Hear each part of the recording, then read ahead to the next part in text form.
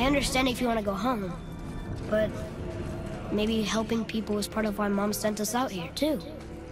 I mean, what would Atreus of Sparta do? And what would Loki do? Huh. That's a weird name. I'm glad we went with yours.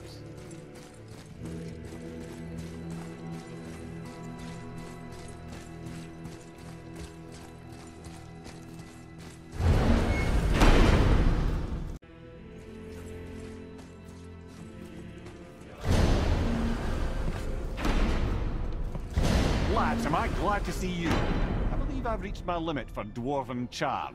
What happened, Mimir?